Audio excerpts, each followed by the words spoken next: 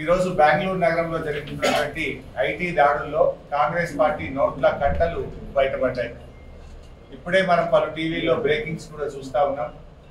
Congress party అక్రమంగా సంపాదించినటువంటి అవినీతి సొమ్ముతో తెలంగాణ రాష్ట్రానికి పెద్ద ఎత్తున డబ్బును బదిలీ చేసి ఈ ఎన్నికల్లో డబ్బు పంచడం ద్వారా గెలవాలని చెప్పి కాంగ్రెస్ పార్టీ ప్రయత్నం చేస్తూ ఉంది.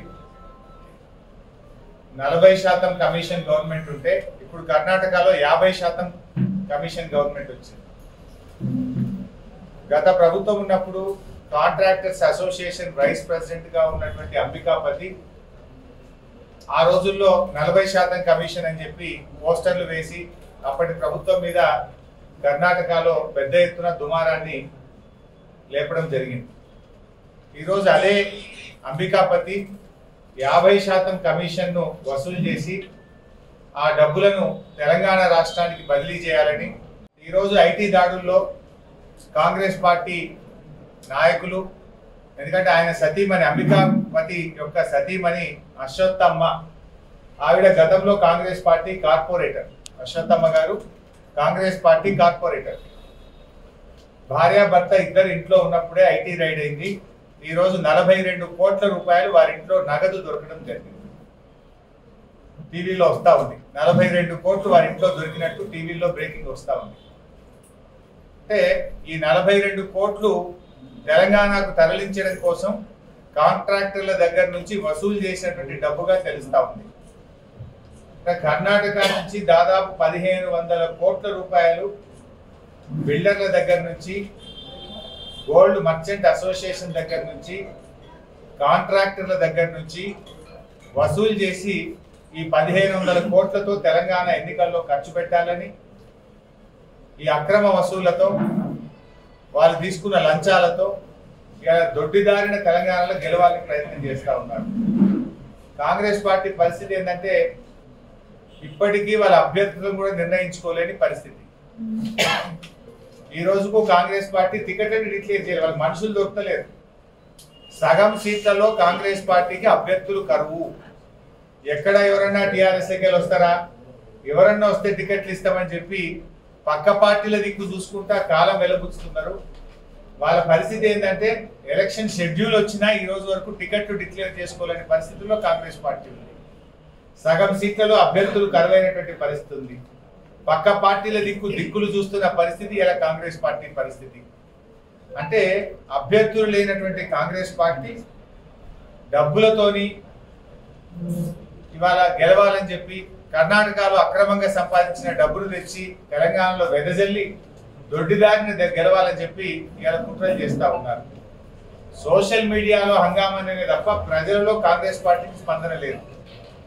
ఏమున్నా అంత సోషల్ మీడియాలో ఫేక్ మీడియా సంస్థల్ని పెట్టి వాళ్ళు గోబల్స్ ప్రచారం చేసి లబ్ధి పొందాలని ప్రయత్నం చేస్తూ ఉన్నారు. ఇవాళ కాంగ్రెస్ పార్టీ నమ్ముకున్న కార్యకర్తలు వదిలిపెట్టిండ్రు.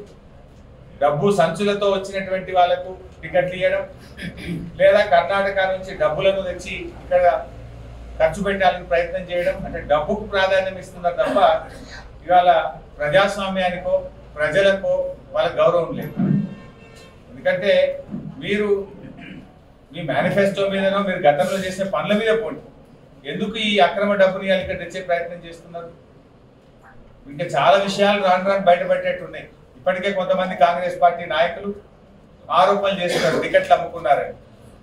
వీళ్ళ అభ్యర్థుల నుండి డబ్బులు వసూలు చేస్తున్నారు. అప్లికేషన్లు పెట్టే డబ్బులు తీసుకున్నారు. టికెట్ ఇవ్వడానికి డబ్బులు తీసుకుంటున్నారు. కర్ణాటక నుంచి డబ్బులు తెస్తున్నారు. ఈ రకంగా మీరు డబ్బును ప్రవహింపజేసి అక్రమంగా సంపాదించిన డబ్బుతో ఇవాళ తెలంగాణలో గెలవాలని చూస్తున్నారు. తెలంగాణ సమాజం ఎట్టి పరిస్థితుల్లో దాన్ని సహించదు. మీకు తగిన గుణపాఠం తప్పదు. దీని మీద సమాధానం చెప్పాలి. ఎందుకంటే ఈ అంబికాపతి గారు కాంగ్రెస్ పార్టీకి డికే శివకుమార్ గారికి అత్యంత సన్నిహితుడని మాజీ ఎమ్మెల్యే ఈశ్వరప్ప గారికి కూడా వారు అత్యంత సన్నిహితుడని వారు ఈరోజు కాంగ్రెస్ పార్టీ పక్షాన తెలంగాణ ట్యాక్స్ అంటే తెలంగాణ ఎన్నికలకు డబ్బులు పంపాలని తెలంగాణ ట్యాక్స్ అని పెట్టి అక్కడ బిల్డర్ల నుంచి కాంట్రాక్టర్ల నుంచి డబ్బులు వసూలు చేస్తూ ఉన్నారు. ఆ వసూలు చేసి హైదరాబాద్ పంపే డబ్బు ఇవాళ ఐటీ రైడ్లో అక్కడ దొరికిపోయినట్టుగా వార్తలు వస్తూ ఉన్నాయి.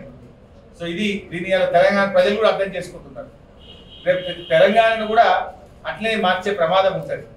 అందువల్ల తెలంగాణ ప్రజలు ఇవాళ అర్థం చేసుకుంటున్నారు. కాంగ్రెస్ ఏందో ఇవాళ అర్థమవుతా ఉంది. కాంగ్రెస్ పార్టీ కర్ణాటకలో సంపాదించిన అక్రమ సంపాదనతో తెలంగాణలో దొడ్డిదారులు గెలవాలని ప్రయత్నం చేస్తున్నారు. కానీ వాళ్ళు ఎన్ని కళలు కన్నా అవి పగటి కళలు అయితే తప్ప తెలంగాణలో ఖచ్చితంగా ముమ్మాటికి హ్యాట్రిక్ కేసీఆర్ది బీఆర్ఎస్ ప్రభుత్వంది మీరు ఎన్ని కుట్రలు పన్నినా ఎంత అక్రమ డబ్బులు తెచ్చి తెలంగాణలో పాలించే ప్రయత్నం చేసినా గెలుపు మాత్రం బీఆర్ఎస్ పార్టీది. అని మాట్లాడిన కాంగ్రెస్ పార్టీ ఇవాళ యాభై శాతం కమిషన్కు కర్ణాటకలో వసూలు చేస్తా ఉంది. ఇవాళ ఏ బిల్డర్ని అడిగినా చెప్తారు ఏ కాంట్రాక్టర్ని అడిగినా చెప్తారు కర్ణాటకలో ప్రతి ఎస్ఎఫ్టీకి డెబ్బై ఐదు రూపాయలు వసూలు చేస్తున్నారు. కొత్తగా ఎవరైనా అపార్ట్మెంట్లు కట్టాలన్నా గేటెడ్ కమ్యూనిటీలు కట్టాలన్నా ఇల్లు కట్టాలన్నా అక్కడ కాంగ్రెస్ ప్రభుత్వానికి డెబ్బై ఐదు రూపాయల పన్ను కట్టాలి. ఒక ఎస్ఎఫ్టీకి డెబ్బై ఐదు రూపాయలు చొప్పున ఎన్ని ఎస్ఎఫ్టీ కట్టే అంత డబ్బు కడితేనే ఆ బిల్డింగ్కి పర్మిషన్ వస్తుంది. ఆ అపార్ట్మెంట్కి పర్మిషన్ వస్తుంది ఆ ఇల్లుకి పర్మిషన్ వస్తుంది. డబ్బులు కట్టింది ఇల్లు కట్టడానికి అనుమతి రాని పరిస్థితి ఇలా బెంగళూరులో ఉంది. అవినీతి మయమైపోయింది ఇలా కర్ణాటక రాష్ట్రం. ఆ అవినీతి సొమ్ముతో అక్రమ సొమ్మును తెలంగాణలో తెచ్చి ఖర్చు పెట్టాలని ప్రయత్నం చేస్తా ఉన్నారు. అది కాంగ్రెస్ పార్టీ కాదు కాంగ్రెస్. గతంలో ఎన్ని స్కాములు చేసిందో మనందరికి తెలియదేం కాదు. వాళ్ళు లీడర్లు పంచుక తింటారు తప్ప ప్రజలకు పంచరు. అటువంటి కాంగ్రెస్ పార్టీ అక్రమ సొమ్మును ఈరోజు తెలంగాణలో ఖర్చు పెట్టాలని రకరకాల కుట్రలు చేస్తూ ఉన్నారు. వందల కోట్ల రూపాయలను బెంగళూరు నుంచి వయా చెన్నై ద్వారా హైదరాబాద్ తరలించాలనే ఒక పథకం ప్రకారంగా పనిచేస్తున్నారు. ఇప్పటికే కొంత డబ్బు చెన్నైకి చేరిందని కొంత హైదరాబాద్ చేరిందని కూడా తెలుస్తూ ఉంది. ముఖ్యంగా కొంతమంది బిల్డర్స్ కాంట్రాక్టర్స్ దీంట్లో పాత్ర వహిస్తున్నట్టు తెలుస్తుంది. వారు కూడా జాగ్రత్తగా ఉండాలని కూడా మేము హెచ్చరిస్తూ ఉన్నాం. ఇట్లాంటి రాజకీయాలతో మీకు సంబంధం లేదు. మీరు మీ వ్యాపారాలు చేసుకోండి. కానీ మీరు కర్ణాటక అక్రమ సొమ్మును తెలంగాణకు తరలించే దాంట్లో ఎవరైతే పాత్ర వహిస్తారో రేపు తప్పకుండా తగిన మూల్యం చెల్లించుకోవాల్సి వస్తుంది. జాగ్రత్త అని కూడా వారికి మేము హెచ్చరిస్తా ఉన్నాం.